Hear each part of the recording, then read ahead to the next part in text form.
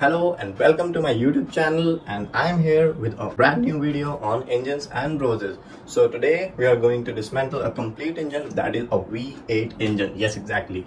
8 cylinder petrol engine and we will completely dismantle it and I will show you each and every part of it by removing it and uh, also I'm going to explain you guys about the parts and working of the components which are inbuilt. The problem with this engine was the head gaskets were blown due to coolant leakage means the coolant got leaked and uh, due to increase in temperature and going beyond the limits and that results in the gasket failure and ultimately leading to the compression losses. And finally this engine has to be dismantled and discarded. Do watch the video completely so that you can know each and everything about the engine. And so let's start then